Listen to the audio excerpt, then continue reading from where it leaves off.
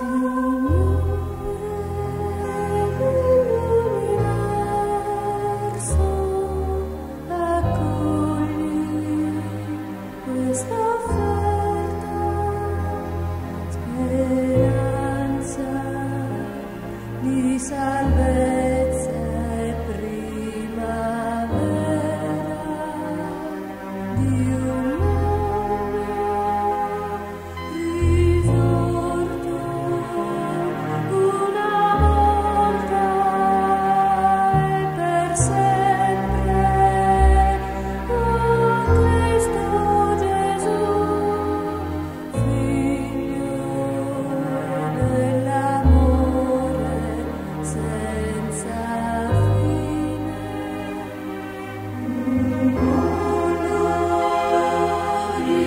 Jesus.